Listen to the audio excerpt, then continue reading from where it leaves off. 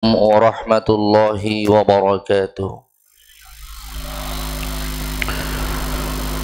نحمده ونستعينه ونستغفره ونعوذ بالله. ونعوذ بالله من شرور أنفسنا ومن سيئات أعمالنا. من يهده الله فلا مضل له ومن يضلل فلن تجد له وليا مرشدا. ونشهد أن لا إله إلا الله وحده لا شريك له. ونشهد أن سيدنا وحبيبنا ومولانا محمدا عبده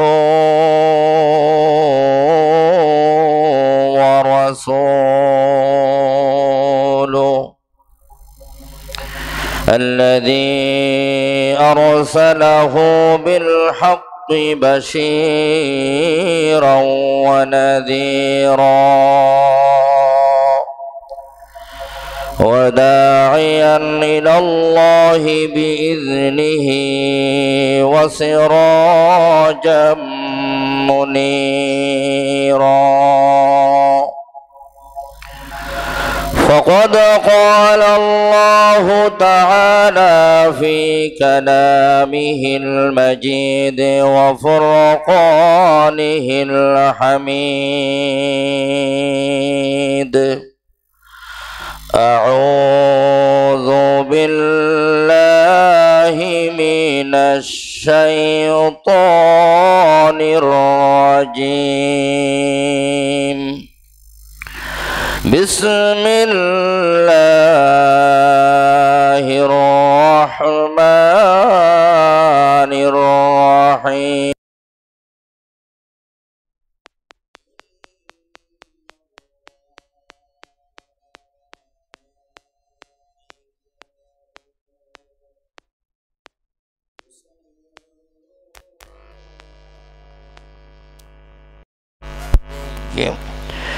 يا أيها الذين آمنوا صلوا عليه وسلموا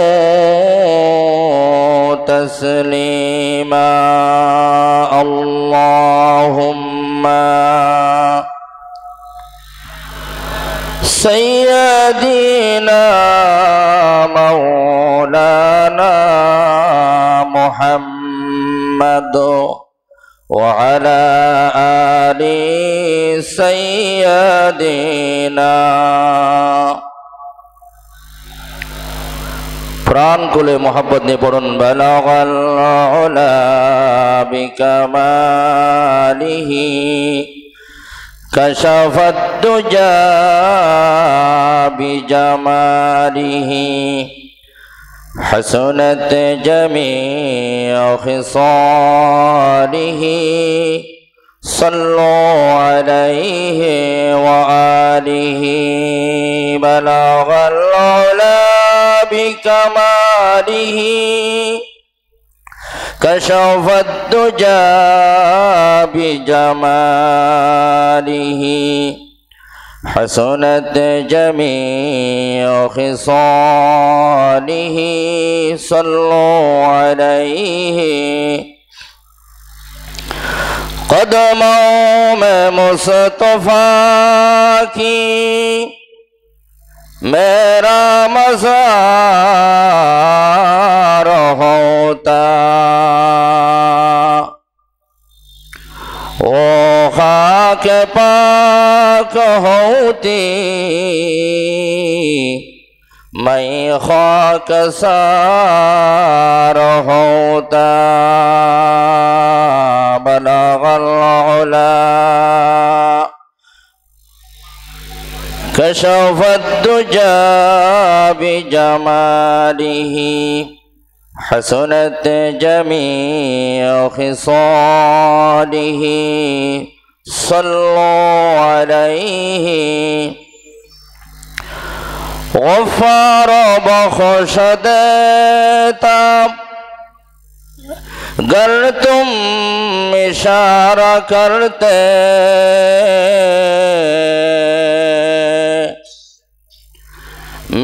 تیرا جہاز سیاہ توفا سے پار ہوتا بلغ العلا بکمالی کشفت الدجا بجماله حسنت جميع خصاله. صلوا عليه. بسم الله الرحمن الرحيم. يا أيها الذين آمنوا لا ترفعوا أصواتكم فوق صوت النبي ولا تجهروا له بالقول كجهر بعضكم لبعض أن تحبط أعمالكم وأنتم لا تشعرون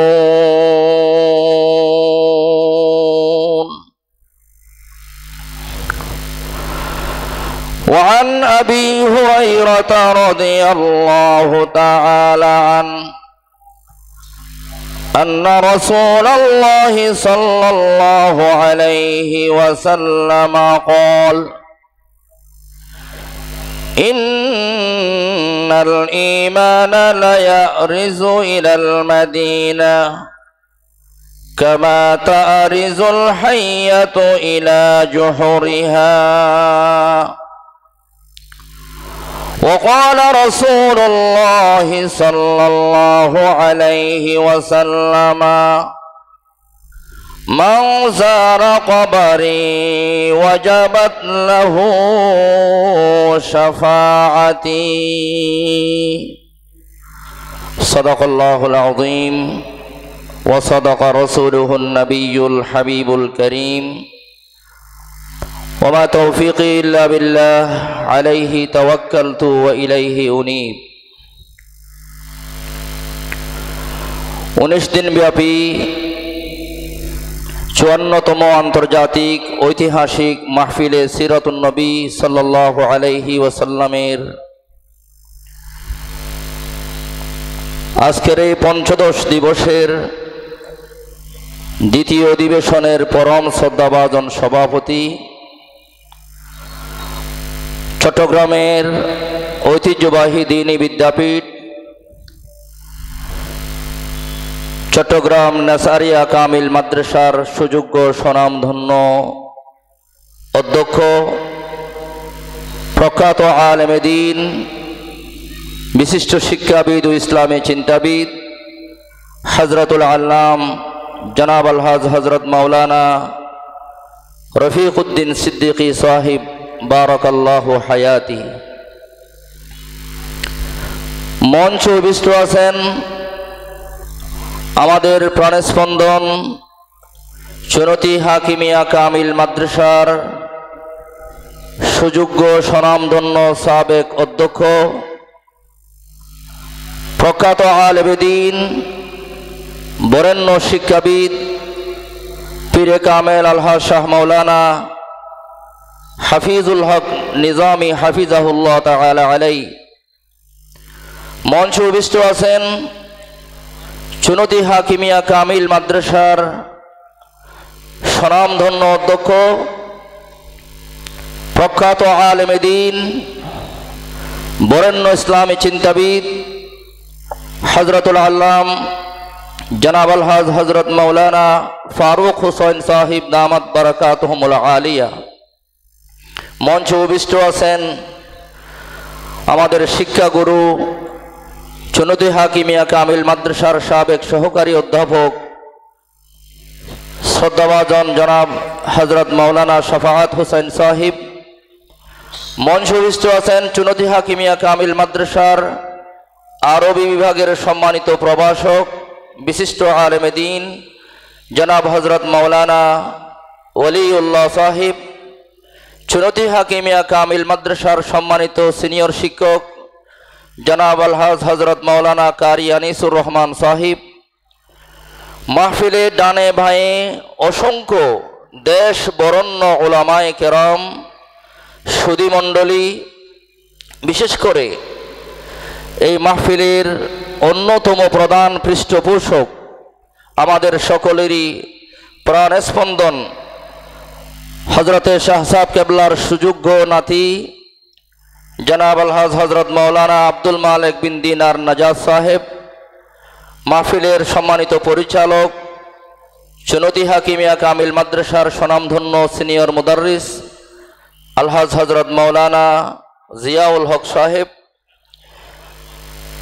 প্রত্যেকেই আমি অত্যন্ত শ্রদ্ধার সাথে সকল উপস্থিতিকে সালাম জানাচ্ছি।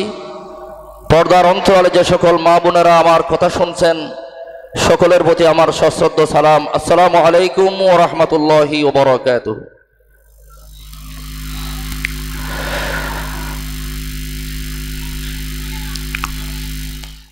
আশেক রসুল, মাশুক খালায়েক, উনিশ দিনব্যাপী আন্তর্জাতিক সিরাতুল নবী সাল্লাহ আলহি ওয়াসাল্লামের প্রবর্তক আলহাজ হাফিজ আহমদ শাহ সাহেব কেবলা রহেমাখুল্লাহ কর্তৃক প্রবর্তিত আজকের এই মাহফিলে চুয়ান্নতম আয়োজনের আজকের এই গুরুত্বপূর্ণ দিনে মাহফিলে শরিক হতে পেরে আমরা প্রত্যেকেই আল্লাহ তাআলার দরবারে আলিশানে শুক্রিয়া জানাই। সকল বলি আলহামদুলিল্লাহ। শুকরিয়া জানাই। মহান রব্বুল আলমিনের দরবারে শুক্রিয়ার মস্তক অবনত করছি। দীর্ঘ পনেরো বছর স্বৈর শাসনের জাতাকলে নিষ্পেষিত হয়ে এদেশের আপামর তৌহিদি জনতা, মজলুম জনতা আল্লাহ তাআলার দরবারে আর্থনাদ করে আসছিল। এই স্বৈরাচারের হাত থেকে, জালেমের হাত থেকে মুক্ত করার জন্যে জাল্লা রাব্বুল আলামিন আমাদেরকে স্বৈরাচারের হাত থেকে, জালেমের হাতকে মুক্ত করে অত্যন্ত সুন্দর, নিরিবিলি পরিবেশে, শান্তিপূর্ণ একটি পরিবেশে সরোয়ারে কায়নাত সাল্লাল্লাহু আলাইহি ওয়াসাল্লামের শানে আয়োজিত আজকের মাহফিল আমাদেরকে আঞ্জাম দেওয়ার আশার বসার কথা বলার এবং শোনার সুযোগ করে দিয়েছেন। সে মুনিবের দরবারে আমরা আবার শুকর গুজার হচ্ছে সকল বলছে, আলহামদুলিল্লাহ। সরোয়ারে কায়নাত, রহমাতুল্লিল আলামিন, শফিউল মুজনবিন, জনাবে মোহাম্মদুর রসুল্লাহ সাল্লাহ আলাইহি ওসাল্লামের দরবারে অত্যন্ত শ্রদ্ধা এবং মোহাব্বত নিয়ে দরুদার সালাম নিবেদন করছি। যিনি আমাদের জন্য কুল কায়নাতের জন্য রহমত হিসাবে প্রেরিত হয়েছিলেন। আমি রফে দারাজাত কামনা করছি। আশেকে রসুল মাসুকে খালাইক হজরতে শাহ সাহেব কেবলা রহিমাহুল্লার সাথে সাথে তার রোহানি ফয়ুজাত আল্লাহ পাকের দরবারে কামনা করছি। তিনি যেন তার রোহানি ফয়ুজাতের মাধ্যমে আমাদের সকলকে লাভ করে দেন। সকলে বলেন, আমিন। প্রিয় উপস্থিতি সম্মানিত পরিচালক, আমার জন্য একটি বিষয়বস্তু ঘোষণা করেছেন। আপনারা বিষয়বস্তু ভালো করে শুনেছেন। অত্যন্ত বরকতপূর্ণ একটি বিষয়। যদিও সেই বিষয়ের উপরে যথাযথ আলোচনা করার মতো তেমন কোনো যোগ্যতা আমার মধ্যে নেই। বিষয়বস্তু আমি আলোচনার সুবিধার্থে, শোনার সুবিধার্থে আপনাদের সামনে আবার তুলে ধরছি। আমার আজকের বিষয়বস্তু হলো মদিনা শরীফের ফজিলত, রোজায় মোবারকের জিয়ারতের গুরুত্ব ও পদ্ধতি বর্ণনা। আল্লাহ পাকের দরবারে তৌফিক চাই। এই বিষয়বস্তুর উপরে দু একটি গুরুত্বপূর্ণ কথা বলার, যেগুলো আমরা আপনারা সকলে আমল করতে পারি। আল্লাহ যেন আমাদের তৌফিক দান করেন, সকলে বলেন আমিন। প্রিয় উপস্থিতি পৃথিবীর জমিনে যত শহর এবং নগর আছে, প্রত্যেকটি শহর এবং নগর তার নিজস্ব কিছু ঐতিহ্য এবং ইতিহাস আছে, ঠিক কিনা বলেন? তেমনিভাবে পৃথিবীর জমিনে দুটো শহর এমন আছে, যেগুলো তার ইতিহাস, ঐতিহ্য, তার পবিত্রতা, তার ভৌগোলিক অবস্থান এবং ধর্মীয় দৃষ্টিকোণ থেকে গোটা পৃথিবীর সকল নগর এবং শহরগুলোকে ছাড়িয়ে মর্যাদা এবং সম্মানের উঁচু শিখরে স্থান করে নিয়েছে। পৃথিবীর জমিনে এমন দুটো শহর আছে। সেই শহরগুলোর মধ্যে একটি শহর হলো মক্কায়ে মোকাররমা। ঠিক কিনা বলেন? আরেকটি শহর হলো মদিনায়ে মুনব্বরা প্রথম যে শহরের কথা আমি বললাম, মক্কায় মুকররমা। যে মক্কায় মুকররমা বিশ্ব নবী মুহাম্মদুর রসুল্লাহ সাল্লাহ আলাইহি ওসাল্লামের জন্মস্থান, ঠিক কিনা বলেন? যে মক্কায় মুকররমার মধ্যে মানব জাতির জন্য নির্মিত প্রথম ইবাদতের গড় আল্লাহর গড় খানায় কাবা। যেই মক্কায় মুআজ্জামা ইতিহাসের সাক্ষ্য হয়ে, কালের সাক্ষ্য হয়ে দাঁড়িয়ে আছে, সুবহানাল্লাহ বলেন। যেই মক্কায় মোকাররমায় সরওয়ারে কায়নাত সাল্লাল্লাহু আলাইহি উপরে প্রথম ওহী অবতীর্ণ হয়েছিল যেই হেরা গুহায়, সেই হেরা গুহা কালের এবং ইতিহাসের সাক্ষ্য হয়ে দাঁড়িয়ে আছে মক্কার জমিনে, ঠিক কিনা বলেন?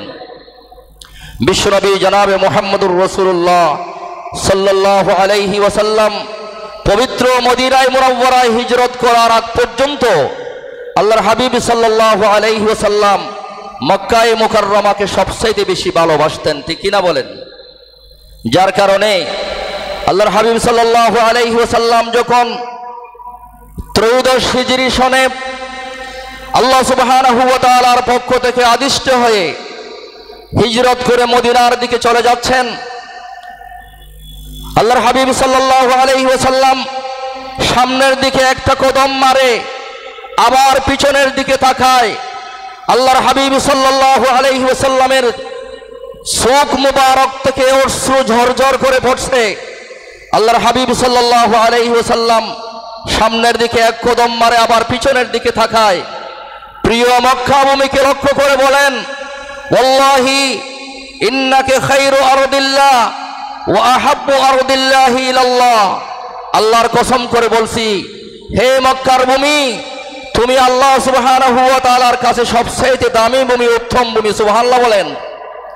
তুমি আল্লাহ রাব্বুল আলামিনের কাছে সবচেয়ে প্রিয় ভূমি।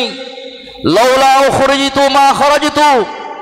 এই জাতি যদি আমাকে মক্কার জমিন থেকে বের করে না দিত, আমি কশ্চিন কারও মক্কার জমিন ফেলে কোনো কারে বের হয়ে যেতাম না। আল্লাহ বলেন। হিজরতের আগ পর্যন্ত বিশ্বনবী মোহাম্মদুর রসুল্লাহ সাল্লাহ আলহি কাছে সবচাইতে প্রিয় ভূমি ছিল রসুলের সেই জন্মস্থান মক্কায়ে মহাজ্জামা ঠিক কিনা বলেন? এরপরে আরেকটি শহর হল মদিনায়ে মোনব্বরা মদিনায়ে গোটা পৃথিবীর সকল শহর এবং নগরের মধ্যে ভৌগোলিক অবস্থানের দিক থেকে সম্মান এবং মর্যাদার দিক থেকে, শান্তি এবং নিরাপত্তার দিক থেকে, সার্বিক বিবেচনায় পৃথিবীর ইতিহাসের সবচাইতে বেশি দামি, ফজিলতপূর্ণ, গুরুত্বপূর্ণ ভূমির নাম পবিত্র মদিনায় মোনব্বরা ঠিক কিনা বলেন? পৃথিবীর প্রতিটা দেশের, প্রতিটা ভূখণ্ডের, প্রতিটা মুসলমানের হৃদয়ের মধ্যে যেই ভূমি অন্তরে গঠিত আছে যেই ভূমির ভালোবাসা কেয়ামত পর্যন্ত কোনো মৌমিনের কলব থেকে বিচ্ছিন্ন করা যাবে না, জুদা করা যাবে না, সেই জমিনের নাম হলো পবিত্র মদিনায় মনব্বরা ঠিক কিনা বলেন? এই মদিনায় মনব্বরা যেখানে আল্লাহর হাবিব সাল্লাল্লাহু আলাইহি ওয়াসাল্লামের হাতে নির্মিত মসজিদে কুবা ইতিহাসের সাক্ষ্য হয়ে আছে, যেখানে আল্লাহর হাবিব সাল্লাল্লাহু আলাইহি ওয়াসাল্লাম সাহাবায়ে কেরামদেরকে সাথে নিয়ে নির্মিত মদিনায় মুনব্বরা ইতিহাসের সাক্ষ্য হয়ে দাঁড়িয়ে আছে। যেখানে ঐতিহাসিক উহুদের পাহাড়, যেই পাহাড়কে লক্ষ্য করে আল্লাহ নবী বলেছিলেন, উহুদুন জাবালুন উহুদের পাহাড় হলো এমন একটি পাহাড়, যেই পাহাড়কে আমরা মোহাব্বত করি এবং যেই পাহাড় আমাদেরকেও মোহাব্বত করে। সেই ঐতিহাসিক উহুদের পাহাড় মদিনাই মুনব্বরার মধ্যে আছে, ঠিক কিনা বলেন? আমার বাইরা মদিনাই মুনব্বরার ইতিহাস, ইসলামের ইতিহাস, মদিনায় মুনব্বরার ইতিহাস, মুসলিম উম্মার ইতিহাস, মদিনায় মুনব্বরা যেটা হলো ইসলামের উৎসস্থল, যেখান থেকে গোটা পৃথিবীর জমিনে ইসলামের আলো ইমানের আলো ছড়িয়ে ছিটিয়ে পড়েছে। ঠিক কিনা বলেন? যেখানে যাকে সৃষ্টি করা না হলে আল্লাহ রাব্বুল আলামিন কুল কায়নাতকে সৃষ্টি করতেন না। আমাদের আপনাদের সকলেরই প্রিয়ারা নবী, রহমতুল্লিল আলমিন, শফিউল মুজনবিন, মোহাম্মদুর রসুল্লাহ সাল্লাহ আলাইহি ওসাল্লামের রোজায় আকদস যেখানে যেখানে আল্লাহর প্রিয় নবী, হায়াতুন নবী শাহিদ আছেন, আল্লাহ রসুল্লাহ আলাইহি ওসাল্লামের রোজা আকদস যেখানে আছে, সেই ভূমির নাম হলো মদিনায় মনব্বরা ঠিক কিনা বলেন? এই মদিনার ভূমি, এটা সাধারণ কোনো ভূমি নয় পৃথিবীর জমিনে প্রথম ইসলামী রাষ্ট্র কায়েম হয়েছিল নবীর হাতে, সেই মদিনায় মুনব্বরা ঠিক কিনা বলেন? আর পৃথিবীর ইতিহাসের সবচাইতে শান্তিপূর্ণ, নিরাপত্তাপূর্ণ সকল জনগোষ্ঠীর সমান অধিকার যেই রাষ্ট্র ব্যবস্থায় নিশ্চিত ছিল, সেই রাষ্ট্র ব্যবস্থার নাম হলো মদিনাই মনব্বরা ঠিক কিনা বলেন? সেই মদিনায় মনব্বরা আল্লাহর হাবিব সাল্লাল্লাহু আলাইহি ওয়াসাল্লামের চারজন খলিফা খোলাফায় রাশিদিনের তিরিশ বছরের খিলাফতের, সোনালী খিলাফতের সাক্ষ্য হয়ে আছে এই মদিনায় মনব্বরা। ঠিক কিনা বলেন? এই জন্যে মদিনায় মনব্বরা পৃথিবীর অন্য কোনো ভূখণ্ডের মতো ভূখণ্ড নয়, অন্য কোনো শহরের মতো শহর নয়, পৃথিবীর জমিনে সবচাইতে দামি, সবচাইতে গুরুত্বপূর্ণ, মর্যাদাপূর্ণ শহরের নাম যে শহরের সাথে গোটা পৃথিবীর সকল মানুষের হৃদয়ের সাথে যে শহরের ভালোবাসা গঠিত আছে সেই শহরের নাম মদিনায় মনব্বরা ঠিক কিনা বলেন এই জন্যে রসুল আকরম সাল্লাহ আলাইহি ওয়াসাল্লাম সব সময় আল্লাহ পাকের দরবারে দোয়া করতেন কি اللهم حبب إلينا المدينة كحبنا مكة أو أشد رواه البخاري বিশ্বনবী জনাবে মোহাম্মদুর রসুল্লাহ সাল্লাহ আলাইহি ওয়াসাল্লাম আল্লাহ পাকের দরবারে দোয়া করছেন, পড়ুন সুবাহান আল্লাহ কি দোয়া করছেন? মাদিনা, ও আল্লাহ, তুমি আমাদের দিলের মধ্যে মদিনার মোহাব্বত পয়দা করে দাও। কিসের মোহাব্বত? আল্লাহ, তুমি আমাদের দিলের মধ্যে মোহাব্বত পয়দা করে দাও। যেরকম মক্কার প্রতি আমাদের মোহাব্বত আছে, ভালোবাসা আছে, তার মতো মোহাব্বত আমাদের দিলের মধ্যে পয়দা করে দাও। শুধু তাই না, এর সাইতে বেশি মোহাব্বত, এর সাইতে গভীর মোহাব্বত মকদিনার সাথে আমাদের সাথে পয়দা করে দাও। সুবাহান আল্লাহ বলে আমার বাইরা মদিনায় মনোবরা এই জন্য আমি বলতে চেয়েছিলাম গোটা পৃথিবীর সকল শহর এবং নগরের মধ্যে যে শহর সবচাইতে ফজিলতপূর্ণ, যে শহরের দাম সবচাইতে বেশি, যে শহরের সাথে গোটা পৃথিবীর মুসলমানদের হৃদয়ের সম্পর্ক, আত্মার সম্পর্ক, সেই শহরের নাম কি বললাম? মদিনায়ে মনব্বরা ঠিক কিনা বলেন? আমার ভাইরা, মদিনায় মনব্বরার ফজিলত আমার স্বল্প জ্ঞানে বর্ণনা করে শেষ করা সম্ভব নয়। স্বল্প সময়ে আমি দু একটি পয়েন্টের মাধ্যমে আপনাদের সামনে মদিনার ফজিলত তুলে ধরতে চাই। ভালো করে খেয়াল করবেন। এক নাম্বার, এই শহর আগে নাম ছিল ইয়াসরিফ বিশ্ব নবী এটার নাম দিয়েছেন মদিনা। এবং এই মদিনার সাথে বিশ্বনবী মোহাম্মদুর রসুল্লাহ সাল্লাহ আলাইহি ওয়াসাল্লাম আরেকটি নাম সংযুক্ত করে দিয়েছেন মদিনায় তৈবা সুবহানাল্লাহ বলেন। মদিনায় আল্লাহ নবী মদিনার সাথে তৈবা সংযুক্ত করে দিলেন।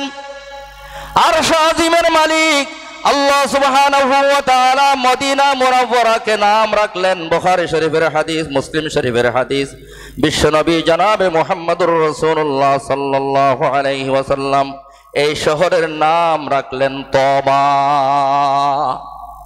হযরতে জাবির ইবনে সুমরার হাদিস, তিনি বলেন, ক্বালা রাসূলুল্লাহ সাল্লাল্লাহু আলাইহি ওয়াসাল্লাম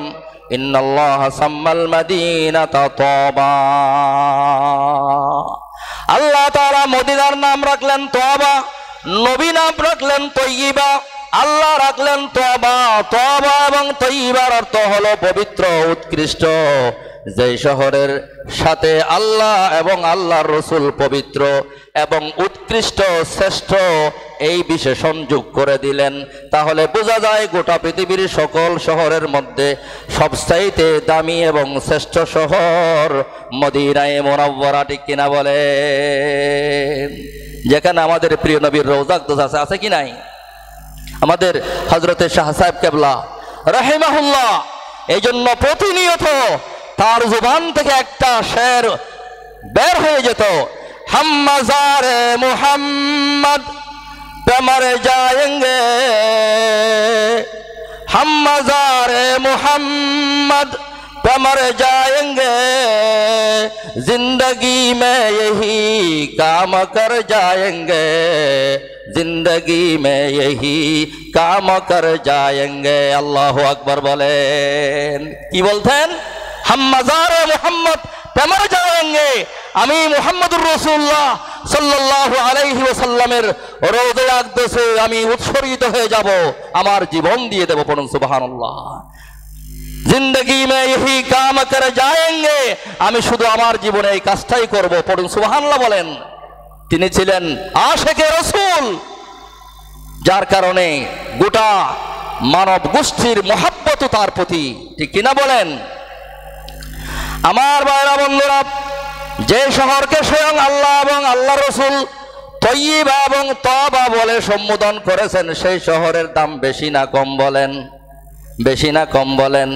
যে শহরকে আল্লাহ এবং আল্লাহ রসুল সবচাইতে দামি, সবচাইতে পবিত্র, সবচাইতে উৎকৃষ্ট শহর বলে ঘোষণা করেছেন, সেই শহর দুনিয়ার সকল শহরের চাইতে দামি। এই শহর দেখতে আরজু লাগে কি লাগে না? লাগে কি লাগে না? লাগে কি লাগে না? মদিনা না দেখা, তু কুছ বি না দেখা। মোহাম্মদ কি রোজা হে জন্নত কি নকশা? আল্লাহ মদিনা যে দেখল না কবি বলছেন, সে আর যেন দুনিয়ার কিছুই দেখে না। আল্লাহ, তুমি আমাদের প্রত্যেককে জীবনে একবার হলো মদিনায় মুনব্বরাই সরকার দো আলম সাল্লাল্লাহু আলাইহি ওয়াসাল্লামের রোজে জিয়ারতের তৌফিক দান করো সকলে, বলেন আমিন। আমার ভাইরা দুই নম্বর হলো, মদিনায় মুনাওয়ারা হলো ইমানের উৎসস্থল এবং মদিনায় ইমানের আশ্রয়স্থল গোটা পৃথিবীর জমিনে ইমান ইসলাম ছড়িয়ে পড়েছে, মদিনার জমিন থেকে ঠিক কিনা বলেন? আজ আমরা ইমান পেয়েছি, ইসলাম পেয়েছি। এই ইসলাম এবং ইমান ছড়িয়ে পড়েছে মদিনায় মোরব্বরা থেকে ঠিক কিনা বলেন? কেয়ামতের আগে এমন একটা সময় আসবে গোটা পৃথিবীর কোনোখানে ইমান থাকবে না, ইসলাম থাকবে না। যখন গোটা পৃথিবীর জমিনে ইসলামের আলো নিভে যাবে ইমানের আলো নিভে যাবে, তখন একটা শহরের মধ্য থেকে কখনো ইমানের আলো নিভে যাবে না। ইমানের আলো প্রজ্বলিত থাকবে, ইসলামের আলো প্রজ্বলিত থাকবে। সেই শহরের নাম হলো মদিনাই মোনাব্বরা ঠিক কিনা বলেন? এই জন্য বিশ্বনবী জনাবে মোহাম্মদুর রসুল্লাহ সাল্লাল্লাহু আলাইহি ওয়াসাল্লাম ঘোষণা করেছেন, কলেন নবীও সাল্লাল্লাহু আলাইহি ওয়াসাল্লামা, ইন্নাল ইমান লা ইয়ারিজু ইলাল মদিনা, কামা তারিজুল হাইয়াতু ইলা জুহুরিহা। ভালো করে খেয়াল করবেন, কিয়ামতের আগে গোটা পৃথিবীর জমিনে কোনোখানে ইমান থাকবে না, ইসলাম থাকবে না। যখন গোটা পৃথিবীর জমিনে ইমান এবং ইসলামের আলো নিভে যাবে ইমানের ভালোবাসায় ইমানের তীব্র আবেদনে ইমানদাররা মদিনায় মোনাব্বরার দিকে ছুটবে। রসুল বলেছেন তখন, ইন্নাল ইমান আলায়ারিজু ইলাল মাদিনা। ইমান মদিনার দিকে ফিরে যাবে। তারিজুল হাইয়াতু ইলা যেমন গর্ত থেকে সাপ যদি বের হয়ে পড়ে সারাদিন ঘোরাফেরা করার পরে, একটা নির্দিষ্ট সময় আসলে সাপ তার গর্তের মধ্যে আবার ফিরে যায় কি যায় না বলেন? তেমনি মদিনার জমিন থেকে ইমান আমরা পেয়েছি। গোটা পৃথিবীর জমিনে ইমান আলো মদিনায় মুনব্বরা থেকে বিচ্ছুরিত হয়েছে। কেয়ামতের আগে আগে আবার দুনিয়ার কোনো জায়গায় ইমান থাকবে না। দুনিয়ার সব জায়গায় ইমানের আলো নিবে গেলেও ইমান থাকবে ইমানের আশ্রয়স্থল হবে মদিনায় মুনব্বরা ঠিক কিনা বলেন? তিন নম্বরে, মদিনা সাধারণ কোনো জমিন নয় সরকারে বলেছেন, মদিনা হলো এমন একটি জায়গা। আল্লাহ রাব্বুল আলামিন যেই জায়গাতে আমাকে হিজরত করে সালে যাওয়ার জন্য আদেশ করেছেন, ঠিক কিনা বলেন? আল্লাহর হাবিব সাল্লাল্লাহু আলাইহি ওয়াসাল্লাম আপনারা জানেন, চল্লিশ বছর বয়সে নবুয়ত পাওয়ার পরে গোপনে গোপনে তিন বছর দিনের দাওয়াত দিয়েছেন।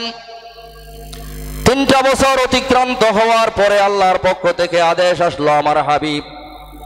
গোপনে গোপনে দাওয়াত দেওয়ার সুযোগ নাই। এবার প্রকাশ্যভাবে দাওয়াত দেন। আল্লাহর নবী সাল্লাল্লাহু আলাইহি ওয়াসাল্লাম প্রকাশ্যভাবে দাওয়াত দেওয়া শুরু করলেন, অনেকেই ঈমান আনলেন। আবার আবু জেহেল আবুল আহাব সাহেবা উদ্বারা কিন্তু ঈমান আনে নাই। ঈমান তো আনে নাই বরং যারা রসুলের হাতে ইমান এনেছে, তাদের উপর জুলুম নির্যাতন শুরু করে দিয়েছে। জুলুম নির্যাতন যখন সীমা ছড়িয়ে গেল, আল্লাহ তাআলার হাবিবকে তারা বিভিন্ন প্রকারের প্রলোভন দিল। ও মোহাম্মদ সাল্লাল্লাহু আলাইহি ওসাল্লাম তুমি যদি অরেল সম্পদ চাও, সম্পদের মালিক বানিয়ে দেব। মক্কার সবচাইতে সুন্দরী মেয়েকে বিয়ে করতে চাইলে তাকে বিয়ে করিয়ে দেব। এরপরও যেই দিনের দাওয়াত তুমি দিচ্ছ, সেই দাওয়াত থেকে তুমি বিরত থাকো।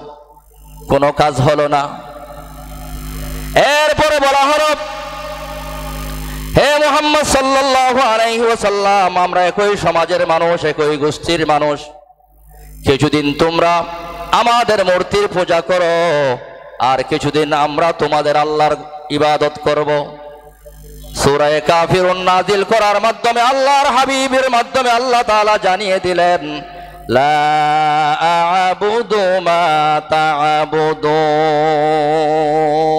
তোমরা যেগুলোর পূজা করো, আমরা সেগুলোর পূজা করি না, কখনো সেগুলোর পূজা আমরা করব না। ঠিক কিনা বলেন? অনেক কিছু বলা হলো।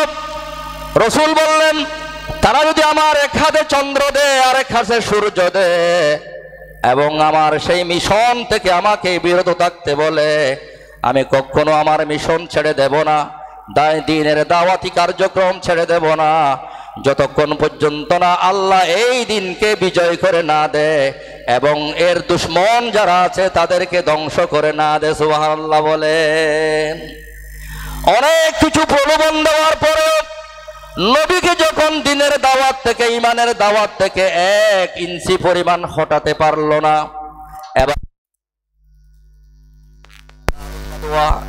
মক্কার অ্যাসেম্বলি, মক্কার সংসদ। ঠিক কিনা? আমাদের দেশে সংসদে বসে যেমন দীর্ঘ পনেরোশো পনেরো বছর, এদেশের ইসলামের আওয়াজকে বন্ধ করে দেওয়ার জন্য দিনওয়ালা ইসলামের মানুষদেরকে খতম করে দেওয়ার জন্য সিদ্ধান্ত নেওয়া হতো। ঠিক কিনা বলেন? সেই মক্কার দারণ্য দেওয়া সংসদে বসে আবু জেহেলের নেতৃত্বে সিদ্ধান্ত নিল তারা যে আর হবে না। মোহাম্মদুর রসুল্লাহ সাল্লাহ আলাইহি ওয়াসাল্লামকে দুনিয়ার জমিন থেকে বিদায় করে দিতে হবে। সকলে বলেন না সিদ্ধান্ত নিল। আল্লাহর নবীর গড় গেরাও করবে, তাকে শেষ করে দেবে। আল্লাহ রাব্বুল আলামিন বিশ্ব নবীকে আদেশ দিলেন নবী, কাফির মুশরিকরা আপনাকে হত্যা করার সিদ্ধান্ত নিয়েছে। আপনাকে রাত্রিবেলায় মক্কায় মুআজ্জামা থেকে মদিনায় মনব্বরায় হিজরত করে চলে যেতে হবে। এই জন্য বিশ্বনবী জনাবে মোহাম্মদুর রাসূলুল্লাহ সাল্লাল্লাহু আলাইহি ওয়াসাল্লাম বলেছেন বিকারিয়াতিন তাকুলুল কুরা, ইয়াকুলুনা লাহা ইয়াসরিব ওয়া হিয়াল মাদিনা, রাওয়াহুল বুখারী আল্লাহর হাবিব সাল্লাল্লাহু আলাইহি ওয়াসাল্লাম বলেছেন, আল্লাহ তাআলা আমাকে আদেশ দিয়েছেন, কে দিয়েছেন আদেশ? আল্লাহ। আল্লাহ তাআলা আমাকে আদেশ দিয়েছেন, মক্কার জমিন থেকে হিজরত করে এমন একটি জনপদের হিজরত করে চলে যাওয়ার জন্য।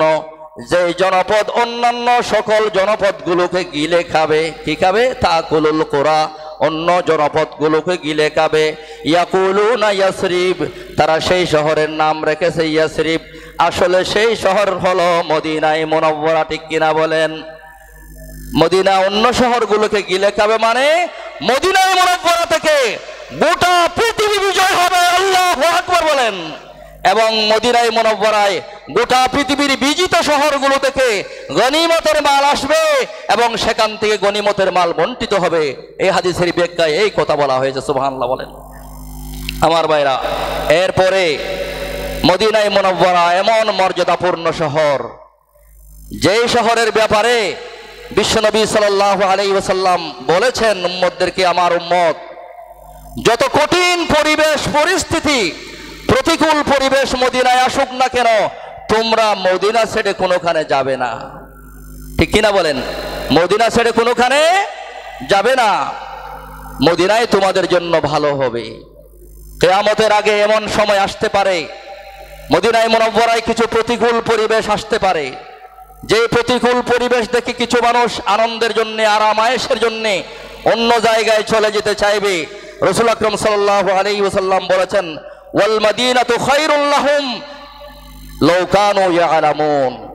যারা সুখের জন্য, আনন্দের জন্য মদিনার প্রতিকূল পরিবেশ দেখে অন্যত্র চলে যেতে চাইবে, রসুল বললেন, না, তোমরা যেও না, তোমরা যেও না। মদিনায় তোমাদের জন্য সবচাইতে ভালো হবে যদি তারা বুঝতে পারে পড়ুন, সুবহানাল্লাহ। তাহলে কঠিন সময়ও মদিনা না ছাড়ার জন্য বলেছেন কে? মোহাম্মদুর রসুল্লাহি সাল্লাহ আলাইহি ওসাল্লাম আল্লাহর হাবিব সাল্লাহ আলাইহি ওসাল্লাম আরও অনেক কথা আছে, সময় কম এই জন্য বলে শেষ করা যাবে না। রসুসাল্লাহ আলাইহি ওসাল্লাম বলেছেন যে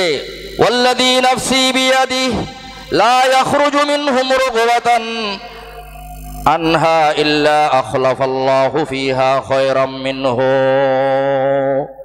আল্লাহ রসুল বলেছেন, মদিনায় মরব্বরার প্রতি বিমুখ হয়ে যারা মদিনার জমিন থেকে অন্যত্র চলে যাবে, আল্লাহর হাবিব ওয়াসাল্লাম বলেছেন, যারা চলে যাচ্ছে তাদের সেইতে ভালো ভালো মানুষ এনে আল্লাহ তাআলা মদিনাকে পূর্ণতা দান করবেন, সুবহানাল্লাহ বলেন। আল্লাহর হাবিব ওয়াসাল্লাম মুসলিম শরীফের হাদিসের মধ্যে আরও বলেছেন, মদিনার যত প্রতিকূল পরিবেশ, মদিনার যত খারাপ পরিবেশ আসুক না কেন, যারা ধৈর্য ধারণ করে, মদিনায় মহাব্ব মনব্বরার মোহাব্বত বুকে ধারণ করে, মদিনায় মনব্বরাই থাকবে। আল্লাহর হাবিব ওয়াসাল্লাম বলেছেন কুন্তুলাহু শাফিআন আও শাহিদা। আমি আমার সেই উম্মতের জন্য কাল হাসরের ময়দানে কঠিন মুসিবতের সময় তার জন্য আমি সাক্ষ্য হয়ে যাব। কিংবা তার জন্য আমি সুপারিশকারী হয়ে যাব, পড়ুন সুবাহান্লাহ আমার ভাইরা মদিনায় মোনব্বরা এমন একটি শহর, যে শহরকে বিশ্বনবী মোহাম্মদুর রসুল্লাহ সাল্লাহ আলাইহি ওসাল্লাম হারাম ঘোষণা করেছেন, তার পবিত্রতা ঘোষণা করেছেন। আল্লাহর হাবিব সাল্লাহ আসলাম বলেছেন ইন্না ইব্রাহিম হাররামা মাক্কাতা ওয়া আনা হাররামতুল মাদিনা ইব্রাহিম আলাইহিস সালাতু ওয়াসসালাম মক্কাকে হারাম ঘোষণা করেছেন, মক্কার পবিত্রতা ঘোষণা করেছেন।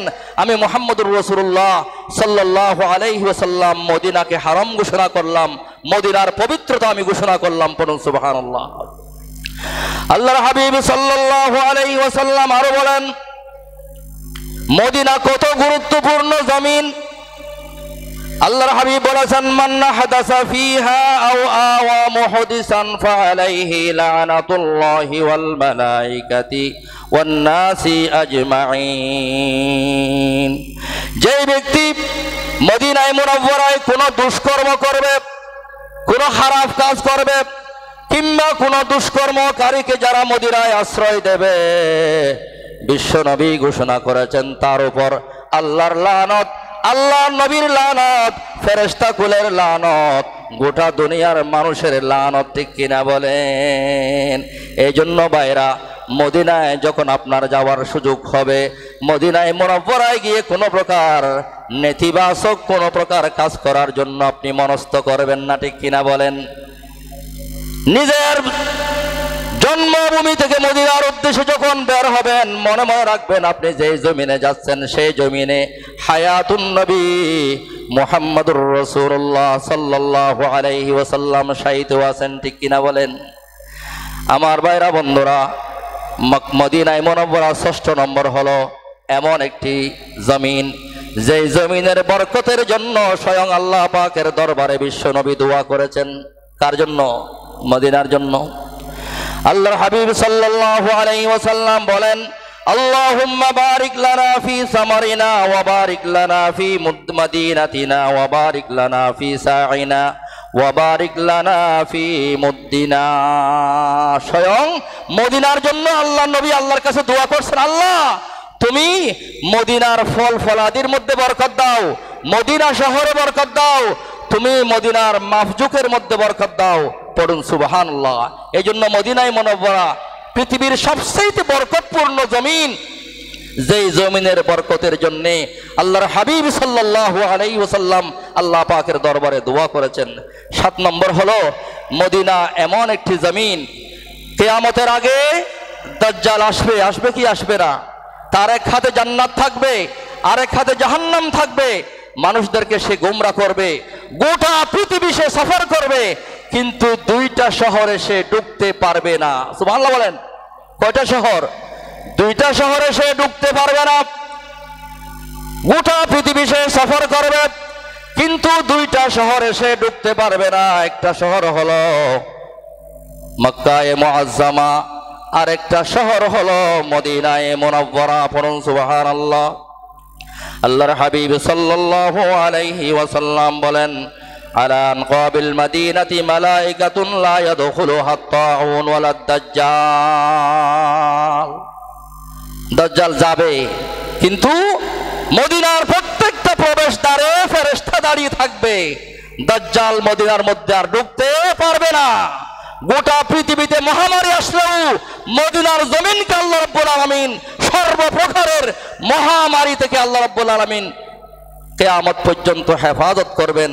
এমন একটি শান্তিপূর্ণ, নিরাপদপূর্ণ কেয়ামত পর্যন্তের জন্য যে জমিন, সেই জমিনের নাম হলো মদিনাই মনব্বরা সেই জমিনের মধ্যে আল্লাহর হাবিব সাল্লাহ আলহি ওসাল্লাম শাহিত আছেন।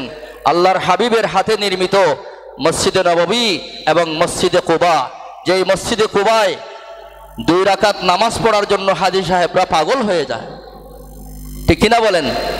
আপনারা যারা হজ করতে গিয়েছিলেন ওমরা করতে গিয়েছিলেন, আপনারা প্রত্যেকেই মসজিদে কুবায় নামাজ পড়েছেন। আল্লাহ রসুল সাল্লাহ আলী সাল্লাম বলেছেন যে মসজিদে কুবায় যারা নামাজ পড়বে, একটা মকবুল উমরার কবুল হওয়া উমরার সব আল্লাহ রব্বুল আলমিন তাকে দেবেন, সুবহানাল্লাহ বলেন। যে মসজিদে নবীতে আমরা নামাজ পড়ি, সরকার দু আলম সাল্লাহ আলী সাল্লাম বলেছেন, মক্কার হারম ছাড়া অন্য যে কোনো মসজিদে নামাজ পড়ার চাইতে এক হাজার রাকাত নামাজ পড়ার বেশি স্বভাব আল্লাহ মদিনার মসজিদে দেবেন।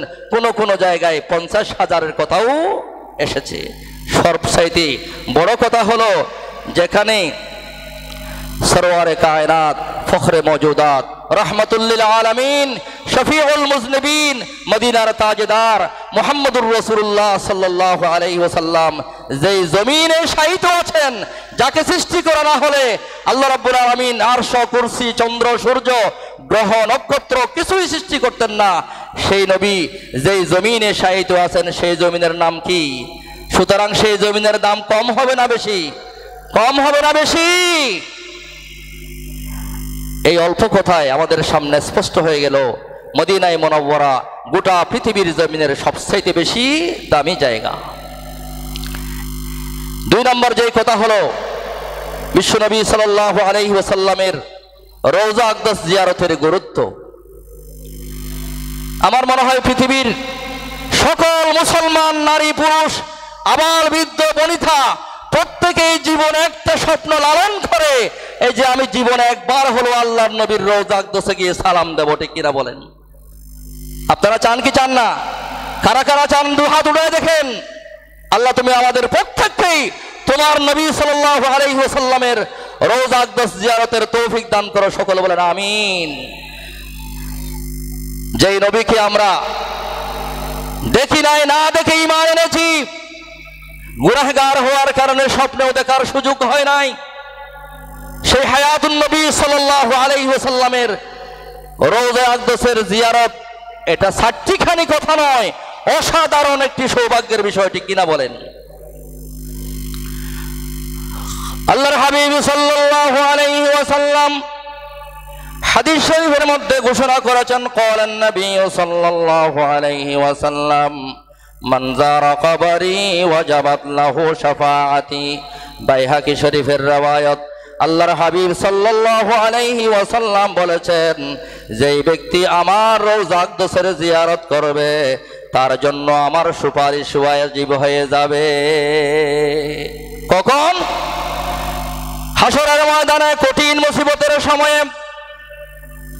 যেই সময়ে সন্তান থেকে পিতা পালিয়ে যাবে, পিতা থেকে সন্তান, স্ত্রী থেকে স্বামী স্বামী থেকে স্ত্রী, ভাই থেকে বোন বোন থেকে ভাই আত্মীয় স্বজনরা পালিয়ে যাবে।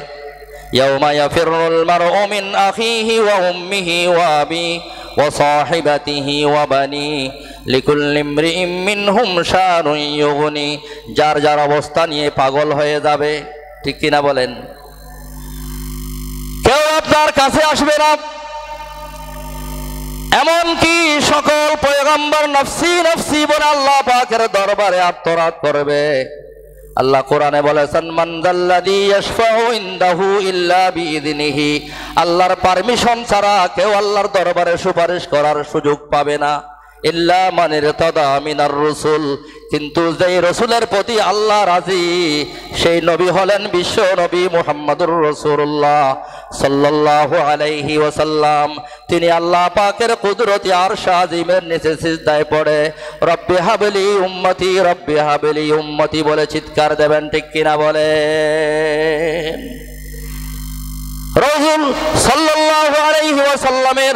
দোষের যারা সুযোগ পাবে, বিশ্বনবী বলেছেন, তাদের জন্য আমার সুপারিশ ওয়াজিব হয়ে যাবে। অন্য হাদিসে রসুল বলেছেন, আনা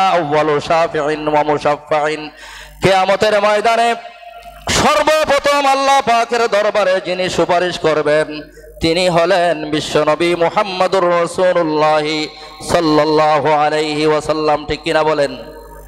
আজকে বর্তমান ফিতনার এই যুগে কেউ মন খারাপ করবেন না।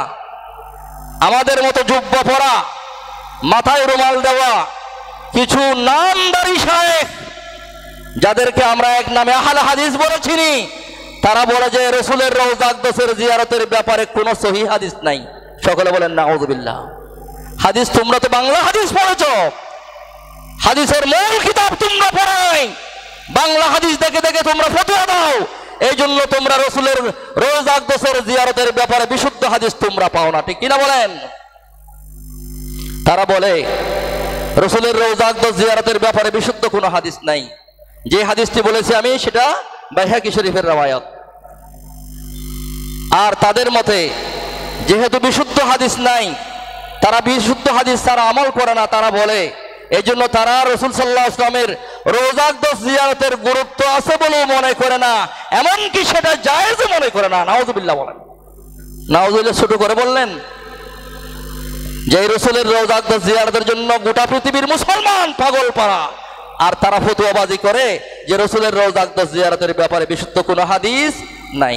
অথচ আল্লাহর হাবিব সাল্লাহ আলাইহি ওয়াসাল্লাম, তিনি হায়াতুন নবী। আল্লাহ রসুল বলেছেন, বাইহাকি শরীফের রাওয়ায়াত, হযরত আবু হুরায়রা রাদিয়াল্লাহু তাআলা আনহু থেকে বর্ণিত। তিনি বলেন, রসুল সাল্লাল্লাহু আলাইহি ওয়াসাল্লাম ইরশাদ করেছেন, মান সাল্লা আলাইয়া ইনদা কবরি সামি'তুহু সুবহানাল্লাহ বলেন না।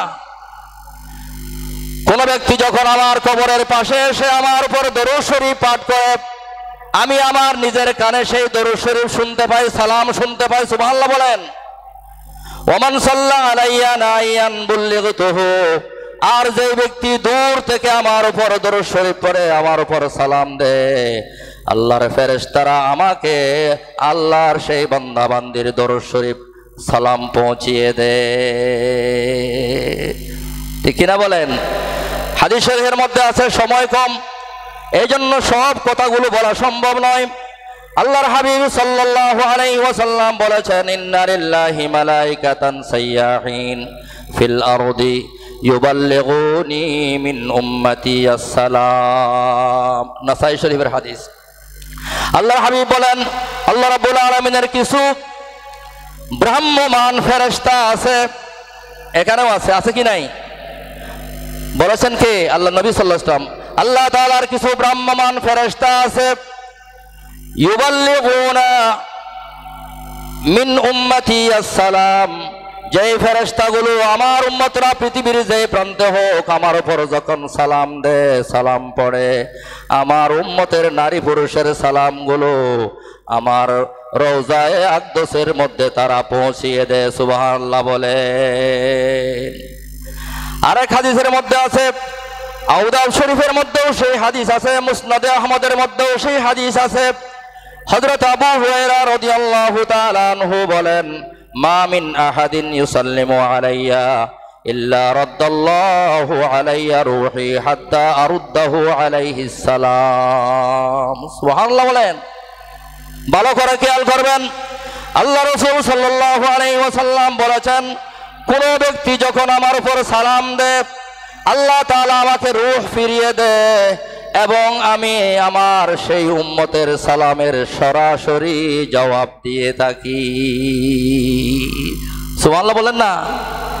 এই হাদিস থেকে দুইটা জিনিস বোঝা যায়। একটা জিনিস হলো সাল্লাল্লাহু আলাইহি ওয়াসাল্লাম রওজাক দেশে জীবিত, ঠিক কিনা বলেন? আহলে সুন্নাত ওয়াল জামাতের মাযহাব হলো শুধু নবী সাল্লাল্লাহু আলাইহি ওয়াসাল্লাম নয়, সমস্ত পয়গম্বররা আপন আপন কবর শরীফের মধ্যে জীবিত আছে। ঠিক কিনা আল্লাহ রসুল বলেছেন, জীবিত অবস্থায় রসুলকে সালাম দিলে, যেমন সাহাবায়ে কেরামের সালামের জবাব রসুল দিতেন, তেমনি রসুলের ওয়াফাতের পরেও রসুলের রোজাক দশে গিয়ে কোন আল্লাহর বান্দারা যদি রসুল সাল্লাল্লাহু আলাইহি ওয়াসাল্লামকে সালাম দে তার জিয়ারত করতে গিয়ে, আল্লাহর রসুল সাল্লাল্লাহু আলাইহি ওয়াসাল্লাম বলেছেন, হাত্তা আরুদ্দাহু আলাইহি সালাম। আমি আমার আমার সেই উম্মতের প্রত্যেকটা নারী পুরুষের সালামের সরাসরি জবাব দিই। আব্দুর রহমান, আব্দুল গফার আব্দুল সালাম আব্দুল সত্তার রসুলে পাকের দরবারে গিয়ে আপনি সালাম দিয়েছেন। আল্লাহ রসুল নিজের নিজের কানে সে সালাম শুনেছেন এবং আপনার সালামের জবাব স্বয়ং রসুল দিয়েছেন। পড়ুন সুবাহান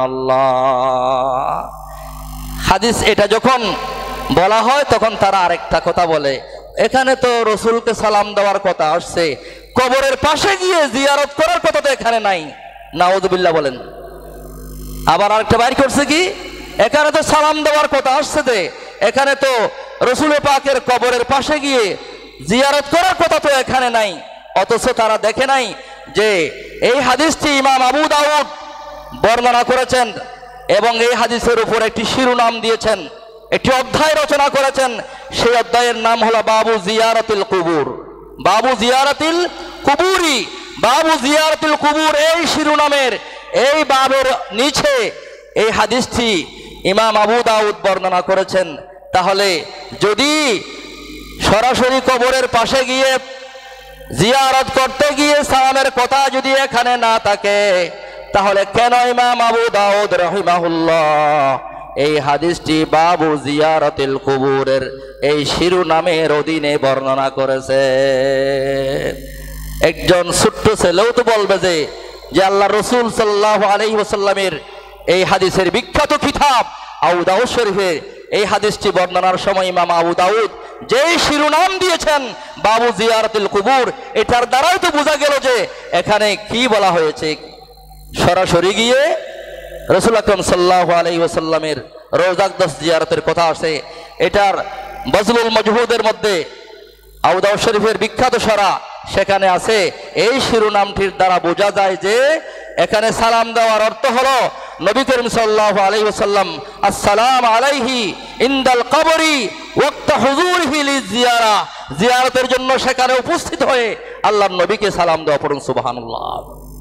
এই জন্য বলতে চেয়েছিলাম, অনেক কথা আছে, সময় কিন্তু শেষের দিকে। তো রসুল আকরম সাল আলহি ওসাল্লামের রোজাকদাস জিয়ারত অত্যন্ত গুরুত্বপূর্ণ বিষয়, যেটার কারণে আল্লাহ তালা হাসরের ময়দানে রসুলের সুপারিশের মুস্তাহিক আপনাকে বানিয়ে দেবেন। আরেকটি ঘটনা সুরাই নিসার চৌষট্টি নম্বর আয়াতের ব্যাখ্যায় আল্লামা ইমাদুদ্দিন ইবনে কাসির তার তফসির ইবনে কাসিরের মধ্যে এনেছেন, যদিও এই গল্পটার ব্যাপারে, হাকায়াতটার ব্যাপারে অনেক পক্ষে বিপক্ষে কথা আছে। আমি আগেই বলে দিচ্ছি, আমি মৌজু কথা বলছি, এটা বলবেন না। কিন্তু ঘটনাটা অবশ্যই গুরুত্বের দাবি রাখে, যার কারণে ইমাম ইমাদুদ্দিন ইবনে কাসির তার তফসির ইবনে কাসিরের মধ্যে কথাটা এনেছেন। উদ্বির সূত্রে তিনি বর্ণনা করেছেন যে উদ্বি বলতেছেন, আমি রসুল সাল্লাহ আলী ওসাল্লামের কবরের পাশে বসা ছিলাম এমন সময় একজন গ্রাম্য মানুষ আসলো। আসার পরে তিনি আল্লাহ তালার কোরআনের একটি আয়াত তেলাবাত বলো আন্নাহুম ইজ্জলামু আনফুসাহুম জাউকা ফাস্তাগফারুল্লাহ ওয়াস্তাগফার আলাহুমুর রাসূলু লাওয়াজাদুল্লাহ তাওয়াবার রহিমা। আয়াতটি তেলাওয়াত করলেন এবং বললেন, সরওয়ার কায়রা সাল্লাল্লাহু আলাইহি ওয়াসাল্লামকে লক্ষ্য করে বললেন, সালাম দিয়ে বললেন, ইয়া রাসূলুল্লাহ সাল্লাল্লাহু আলাইহি ওয়াসাল্লাম, আমি আপনার রোজদাকদাসের পাশে এসেছি। আমার রবের কাছে, আল্লাহ পাক পাকের কাছে গুনাহ মাফ চাওয়ার জন্য আপনার সুপারিশের মাধ্যমে। এটা বলে তিনি কতগুলো শের আবৃত্তি করলেন? কি বললেন? নফসি উল্লে লিকবরিন আনতা সাকিনুহু ফিহিল আফাফু ওয়া ফিহিল জুদু ওয়াল কারামু আনতাল হাবিবুল্লাযী তুরজা শাফাআতুহু ইনদাস সিরাতি ইযা মা যাল্লাতিল কদামু। কেমন সুন্দর কথা। আহা, আনতাল হাবিবুল্লাযী তুরজা শাফাআতুহু তুমি সেই প্রিয় হাবিব, যার সুপারিশের আশা করা যায়। কখন? সিরাতি, ফুল সিরাত পার হওয়ার সময়, যখন পা পিছলিয়ে যাবে পড়ুন, সুবহানাল্লাহ। এই কথাগুলো বলে তিনি চলে যাচ্ছেন। উদ্বি বলতেছেন, আমার এই গ্রাম্য মানুষটি চলে যাওয়ার পরে ফগালাবতনি আইনি, আমার চোখে একটু ঘুম চলে আসছে। আমি স্বপ্নে দেখলাম আল্লাহর হাবিব সাল্লাহ সাল্লামকে তিনি বললেন ইলহাকিল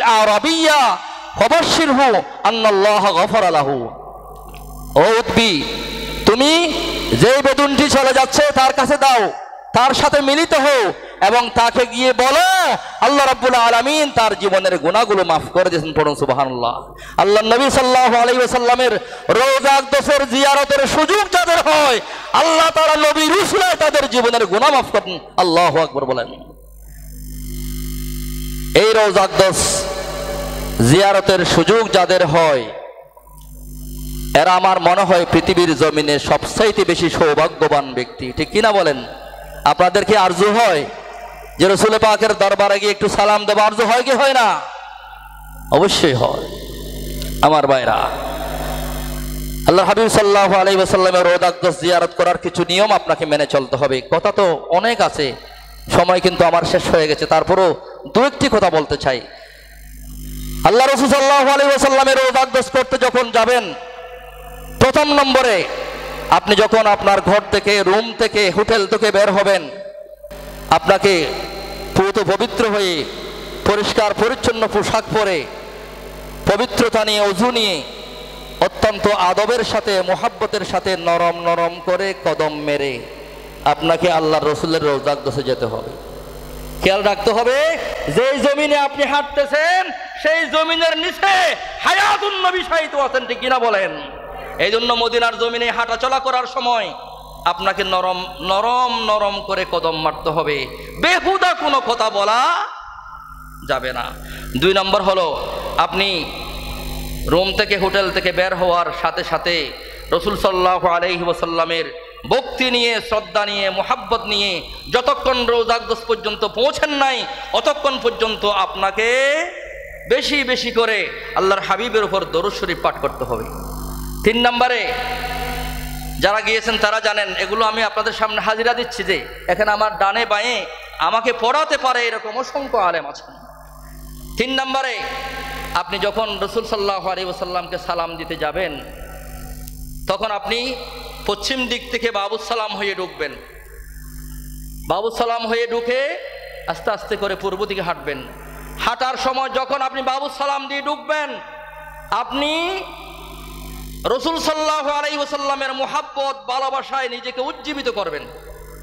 এবং দুনিয়ার সমস্ত চিন্তা, চেতনা আপনার দিল থেকে, মন থেকে দুয়ে সাফ করে আর কোনো চিন্তায় আপনার মধ্যে থাকবে না। আপনি যাচ্ছেন আখের যেমন আর পয়গম্বর বিশ্বনবী মোহাম্মদুর রসুল্লাহ সাল্লাহ আলহি ওসাল্লামের রোজাকদোষ জিয়ারত করতে, ঠিক কিনা বলেন? চার নম্বরে আস্তে আস্তে করে কদম মেরে মেরে, মনে করেন এই ফট্টাবি আপনি যাচ্ছেন, কদম মেরে মেরে যাবেন, যাওয়ার পরে, কিছু দূর যাওয়ার পরে আপনার হাতের বাম পাশে আপনি যাচ্ছেন পশ্চিম দিক থেকে পূর্ব দিকে, আপনার হাতের বাম পাশে সবুজ এবং সোনালি দেয়ালে অত্যন্ত সুন্দর এই জায়গায় তিনটা ছিদ্র আছে। প্রথম ছিদ্র বিশ্বনবী মোহাম্মদুর রসুল্লাহ সাল্লাহ আলহি ওসাল্লামের কবর শরীফ। দ্বিতীয়টা হজরত আবুকর সিদ্দিক রদি আল্লাহ তালাহুর কবর শরীফ। তিন নম্বরটা হজরত অমরুল খত্তাব রদি আল্লাহ তালাহুর কবর শরীফ। ঠিক কিনা বলেন? বিশ্বনবী সাল্লাহ আলহি ওসাল্লামের জিয়াদ করতে যাবেন। সেখানে এমন কোনো কাজ আপনি করবেন না, যেগুলো রসুলের শান এবং মান, ইজ্জত, আবরুর হানি হয়। যেমনটা দেখা যায় বর্তমানে, এই বর্তমানের এই বিজ্ঞানের উৎকর্ষতার এই সময়ে প্রত্যেকে আমরা এই মোবাইলগুলোর হাতে রাখি। ম্যাক্সিমাম জিয়ারতকারীদের দেখি, সেখানে ছবি তুলতেছে, ভিডিও করতেছে, অথচ যেই ছবি তোলার ব্যাপারে বিশ্বনবী সাল্লাহ আলাই পক্ষ থেকে ভয়াবহ ওই দেশেতে আপনি কোথায় গিয়েছে ছবি তুলতেছেন, ভিডিও করতেছেন? একটু ভয় কি আপনার হয় না? এরপর আপনি আস্তে আস্তে করে পাঁচ নম্বরে রসুলসাল্লাহ আলী ওসাল্লামের রৌজাকদোস পর্যন্ত যখন যাবেন, একটু আপনার চেহারাটা রসুলের রৌজাকদোসের দিকে ফিরিয়ে অত্যন্ত আদবের সাথে, মোহাব্বতের সাথে, ভক্তি শ্রদ্ধা নিয়ে আপনি বলবেন আসসালাম আলাইকা রসুল ইয়া রাসূলুল্লাহ আসসালাতু ওয়াসসালামু আলাইকা ইয়া হাবিবাল্লাহ الصلاة والسلام عليك يا شفيع المذنبين الصلاة والسلام عليك يا رحمة للعالمين এখানে তো মন চাই যে সারা জীবন সেখানে দাঁড়িয়ে দাঁড়িয়ে আল্লাহ রসুলকে সালাম দেব কিন্তু সুযোগ তো হয় না অন্য ভাইদের তো সুযোগ করে দিতে হয় ঠিক কিনা বলেন আমার ভাইরা রসুল সাল্লাহ আলী ওসাল্লামকে সালাম দেবেন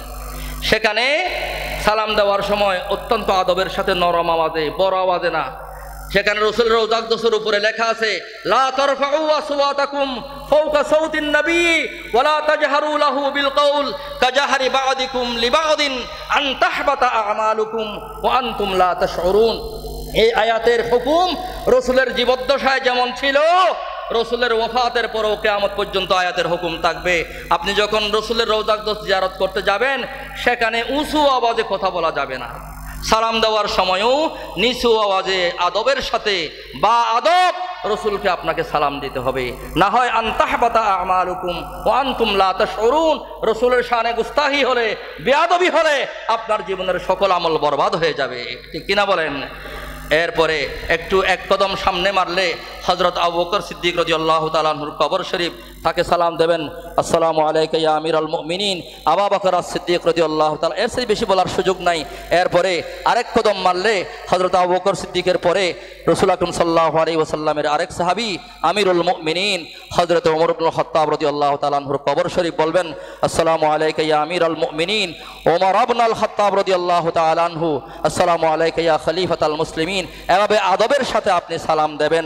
আস্তে আস্তে করে সালাম দিয়ে আপনি বের হয়ে যাবেন। যদি সুযোগ হয়, রসুল সাল্লাহ আলী ওসাল্লামের রৌজাকদস এবং ওইদিকে মিম্বরের মাঝখানে একটি জান্নাতের টুকরা আছে। কিসের টুকরা? জান্নাতে যাওয়ার ইচ্ছা আপনাদের আছে কি নাই?